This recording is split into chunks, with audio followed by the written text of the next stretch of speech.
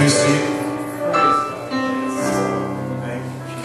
You know, somebody said that one time that, that prayer is us talking to God.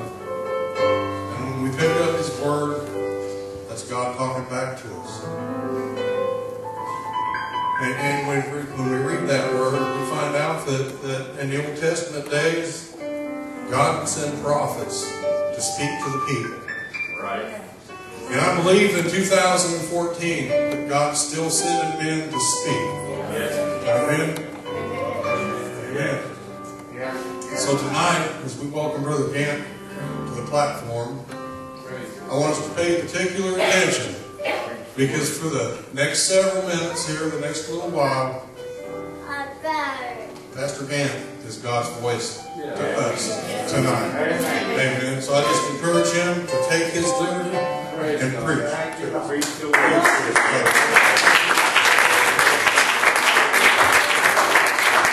Let's give a lot of him praise everybody.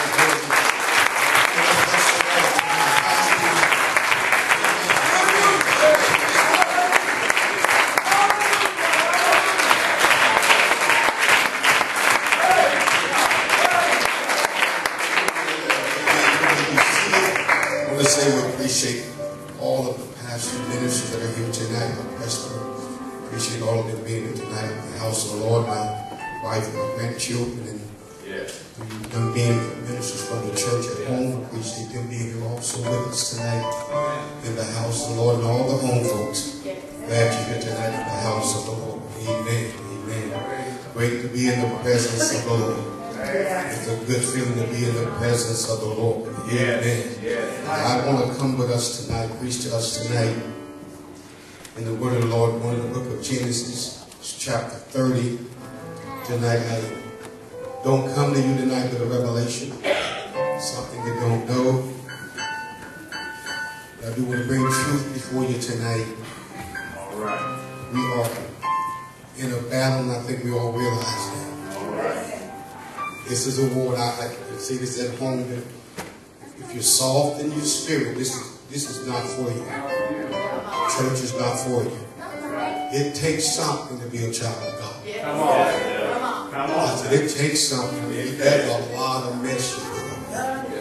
There's a lot of things you endure just to, just to try to just hold up, keep your testimony. There's a lot you have to endure. So this is not for soft people. Right. So when people pat you on the back and call you a Christian, that is a great compliment. That's a great compliment. Amen. I don't just be known as a preacher when I leave this world. I want to be known as I'm a good Christian. I want, I want to wear that title, and wear it proudly. Amen. And I'm a Christian. I'm a child of God. I have a Christ-like spirit about me. Amen. But I am so glad to be amongst God's people tonight. Amen. So when we preach tonight, we maybe can relate to some things I say tonight. But we're all on this battlefield together. All right. We're all on this battlefield together. Right, we are. We all came over on different boats. We're on. we're on the same ship right now. Come on. In Genesis chapter 30, look at verse 1.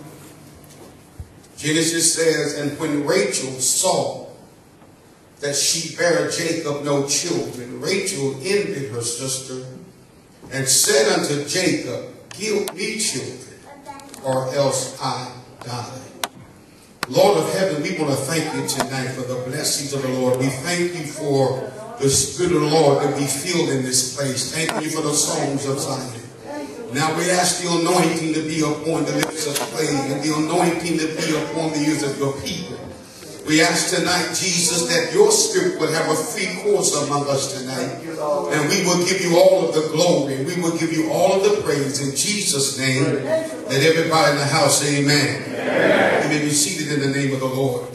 And when Rachel saw that she bare Jacob no children, Rachel envied her sister and said unto Jacob, Give me children, or else I die.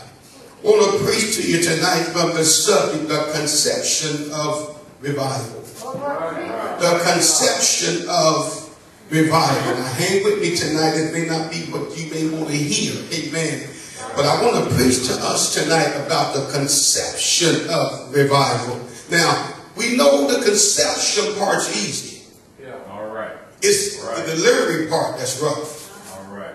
Yeah. In the natural, you know, conceiving children is no problem. It's giving birth to them, but the problems come. The pain comes during delivery time. Come on, preach. No revelation tonight that there'll never be a great revival unless pain is experienced. We hear about churches and our fellowship having great revivals, and to God be the glory. But see, we don't know the whole story. But trust me, you were taught that that pastor or that congregation of people, they will tell you before they gave birth to that thing, there was some pain. The conception part was easy. But in the time when it came to bring delivery, that's when the struggles came. Let's look at the scripture says that it says that, that Rachel, she saw that she bare Jacob no children. This bothered Rachel. But she wanted to give Jacob some children. Remember, she was the favorite of all the wives that he had, and, and she wanted to bless him by giving him children.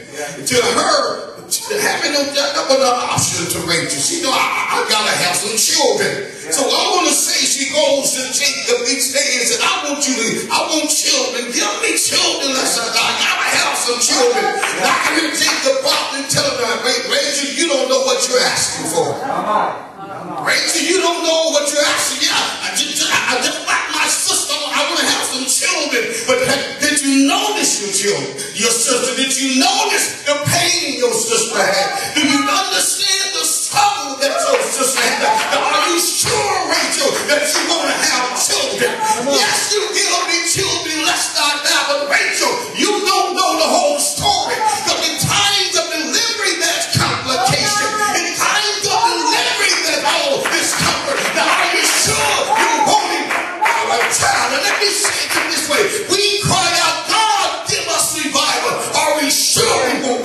revival? Come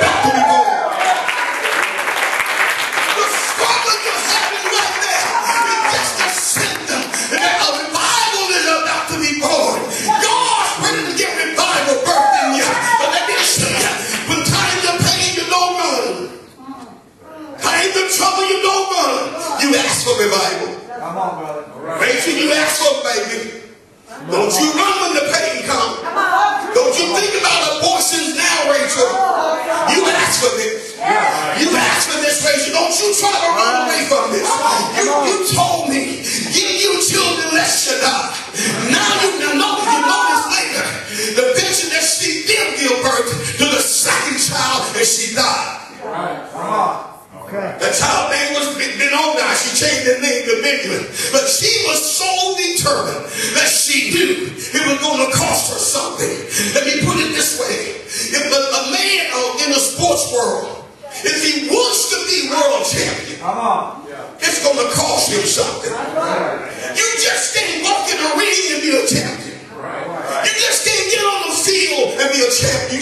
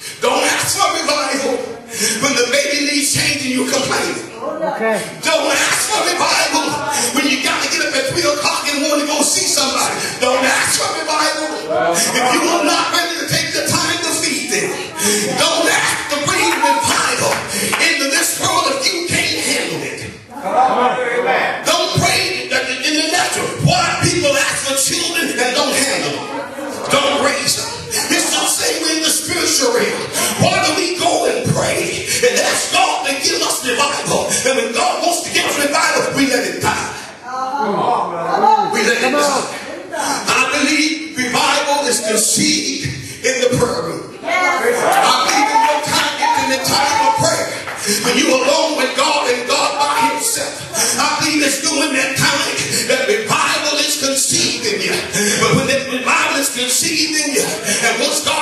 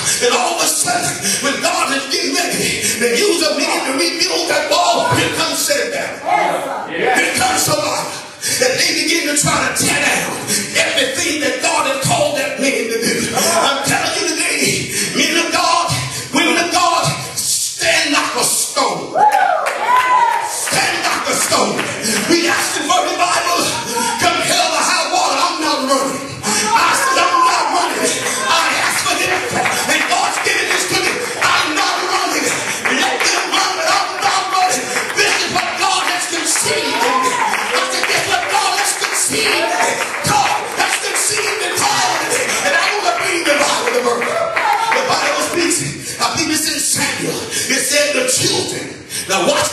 The children have come to the birth, but they didn't have strength to bring forth. They didn't have strength. But you know why? When it came time for the birth, here comes the pain. Okay. Here comes the pain. As soon as Zion travails, he brought forth. Huh? As soon before the pain, she brought forth. Those work like that. The revival comes after the pain. So because of the pain, because of the trouble, they didn't have strength. And I'm telling you, in times of revival, if you if you just if you don't realize it, that devil will try to drain you of everything that you got. And it's time to bring that thing to birth. You don't have strength. He'll fight you from every side. North, south, east, and west. You know you already ready to give birth, but you just don't have the strength. And even though you try, that time you feel like throwing in the towel. You feel like walking away. But remember, you were the one that asked for this, Rachel. You're the one that said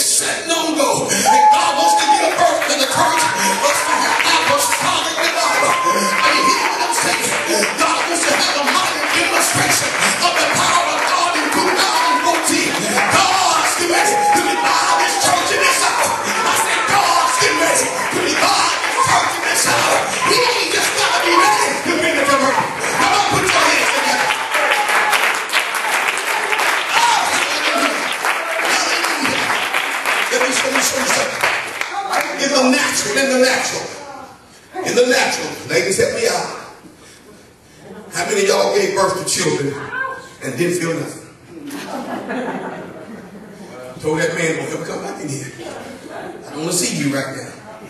Too much pain. Screaming out. But after the child's born, it's all right. Okay. Because the people, most of us, most women, should I say, would have stopped at the first pain. We wouldn't have but one child. Hmm? All right. Right. Some have more. Why do they have more? But they forgot about the pain of the first one. So they have more.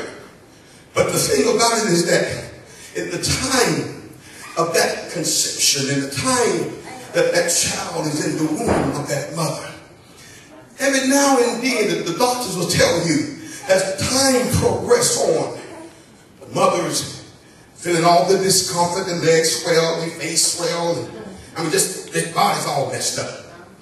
But the thing about it, the doctor says, but some of you ladies may have experienced it, there's time of false labor.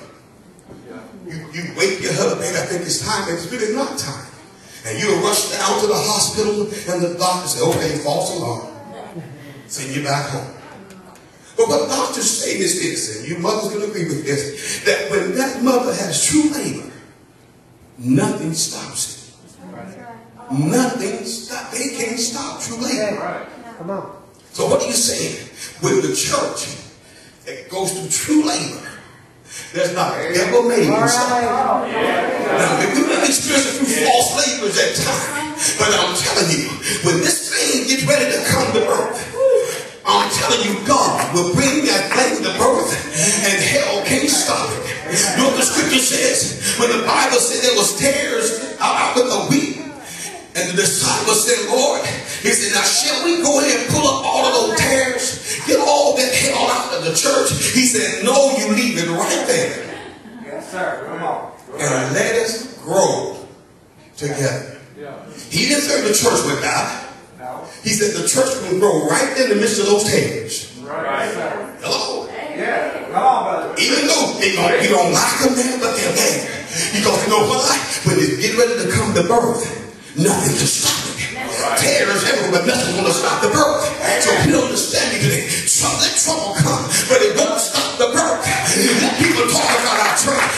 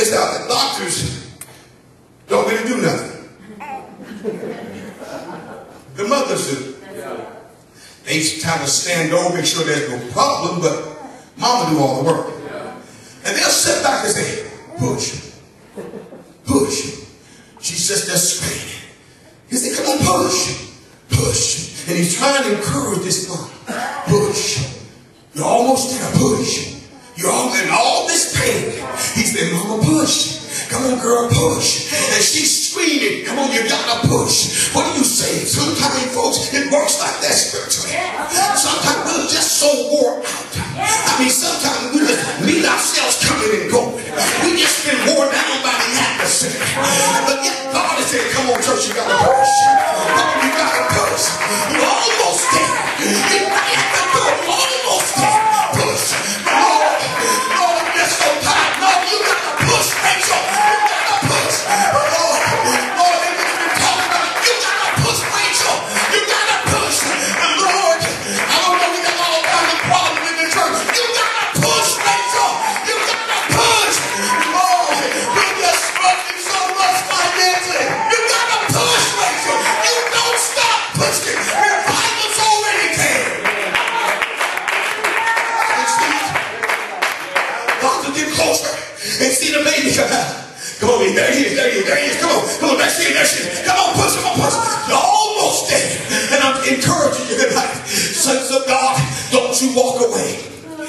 Almost there. You're almost there. And I'm not seeing much.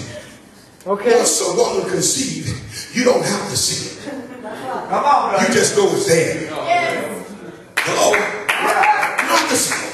But every night, just give it a few months. Just give it a few months. Come on. I watched that baby. Put your hand right there. Put your hand right there. That little fella be kicking. Uh, it's there. It was there the day it was conceived. Hello? But see what happened? Because we don't see things overnight. Right. We'll assume we don't have nothing. Come on, The church is ain't praying. Why? Just because you didn't pray 15 through? Hello? Doesn't mean revival's not there. It just ain't come to birth yet. But we didn't baptize 200 souls that don't mean that revival's not there. Quit judging revival by numbers. Okay. You can judge revival by numbers. That don't necessarily mean revival. Yeah. But I done, I done preached to many of them. I done preached revival in one place where 120 got the Holy Ghost, and two months later, and there was three of them left. I'm just telling you. So don't judge revival by numbers. You judge revival by those that stay. He's saying that I'll judge revival. Not by how many I pray for you. How many is still on the pew. How many is still sitting and supporting the church. How many is still going out on outreach. How many is still going to the prayer room. Now that's how I judge revival. But I'm here to tell you, if you just sit back waiting on numbers and just waiting on numbers to try to judge your revival, you'll fool around and miss what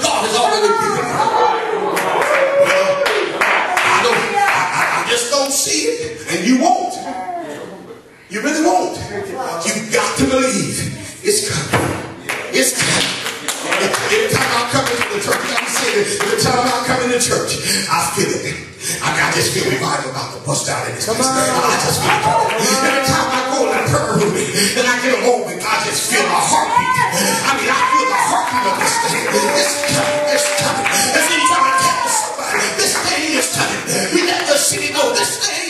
Yeah.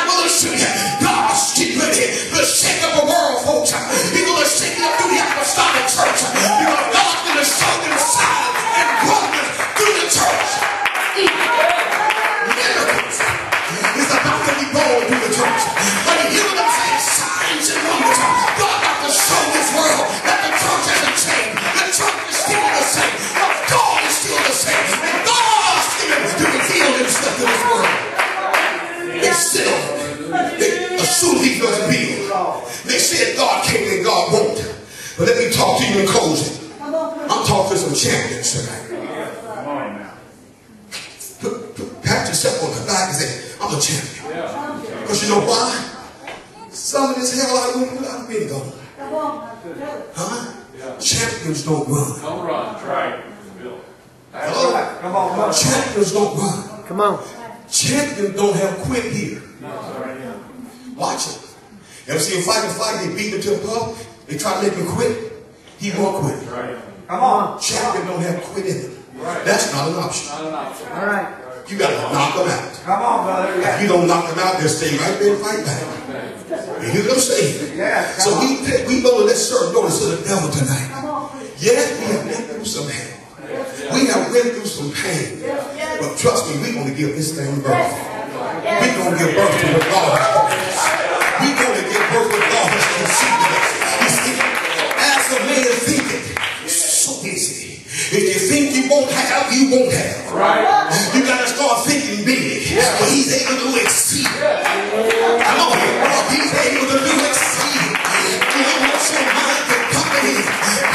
Jordan, God can be on this church in six months' time and got you looking someplace else to go. Because it's church. It's God's. We come here. It's church. And God has contaminated the church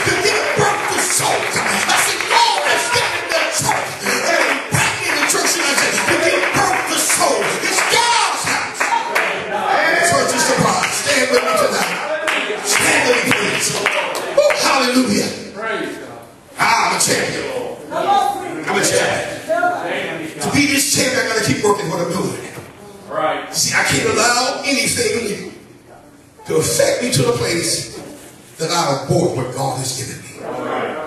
Thank you, Lord. I don't want to get so caught up in issues that I fool around and miscarry. Come on. I gotta stay focused on what God has blessed us with. Church, God's all about souls. He's all about souls. It's not about us. He's all about souls. Thank you, Lord. But God's going to birth souls through us. So revival has to start right in us. Are you hearing me? Once revival is birthed in us, we give birth to more, more souls. That's what God's all about. Giving soul, adding to the church daily. Such as should be saved. And so I encourage you tonight, saints of God, get behind your pastor. You support him. You fight with him. You fight for him. Because trust me, he's your Nehemiah in this hour. That's right. That's right. We don't need no Sanballats and Tobias. Hello. We need some men like Ern to hold up the man of God's hand in the time of struggle. We're in, we're in this thing together. We're in this thing to have revival. We're in this thing to see souls saved. Who to say while you fight against the pastor, your child could be saved? That's right. Who to say while you fight against the leadership that your mama could be saved? Come on, brother. Maybe she's already in the womb, but you sound that crazy. And all of a sudden now we miscarry trying to give birth to your mama. Come on. Hello, folks. Your son is all strung out, your daughter all strung out, and all of a sudden they're in the womb of the church. God's getting ready to give birth off the new side you want to fight Yeah. against the leadership Come on now. and miscarry. And wonder why your kids never got saved. They was in the womb, you miscarried. But yet you want to say, give me children, that's not. Are you sure you want children? Because you want children, you're going to have to take time with them. You're going to have to baby them 24-7, spiritually speaking. You got to be there. Every head bowed in this place. Every eye closed right now. I feel tonight in this place, and again, I don't ever profess myself to be super spiritual. I never have. But I'm talking to experienced being out here today that know what I'm talking about. We have revival. We desire revival. It seems like every time it comes up, something tries to mess with the birth. Something fights against the birth. I'm just asking God to strengthen us as men and women, saints of God. Because this is the day, this is the time, this is the hour that God has purposed to give his church apostolic revival. God has purposed to bless this church, the body, with souls after souls after souls. They're already there. They're already there. The eggs are already there. All you just waiting on God to bring forth the conception. And that's the easy part. It's the birth part that's rough. It's the giving birth part. That's the part that hurts. That's the part that brings the pain. Is that giving birth part. And some of you say, but it hurts. but it hurt. But again, but it hurt. I know it hurts. But you said you wanted revival. You said you wanted revival. I don't know if I can handle much. I know, but you said you wanted revival. This pain, I don't know if I can take much more of this pain, but you said you wanted revival, Rachel. You said you wanted it. But I, but I don't know about this. I just can't put up with this much longer. This, this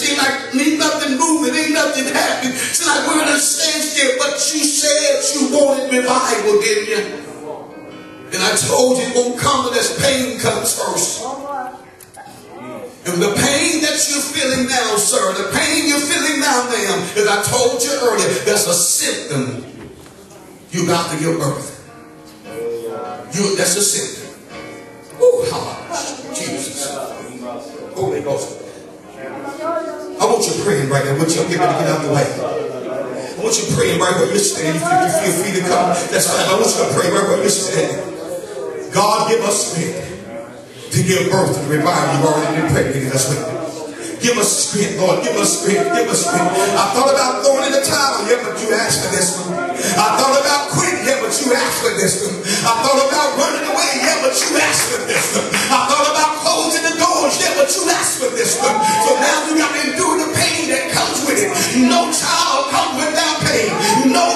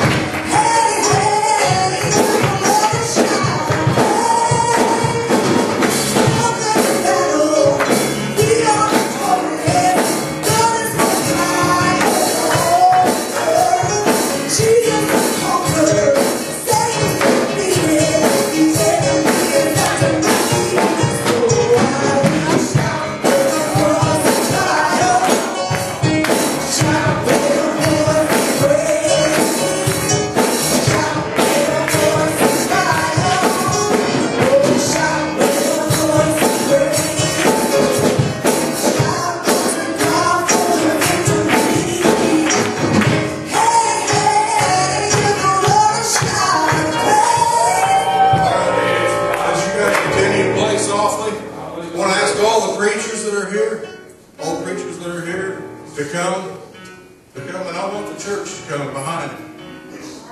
And we want to pray for them. Amen. Let- Let's pray for them.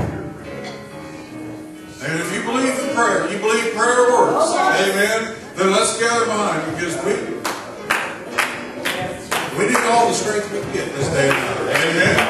Amen. Anybody says that we don't, I think is, is lying. And because we're being attacked on every side pray for him. So, so you guys play a play. Let's, let's pray for let's pray for practice. Amen.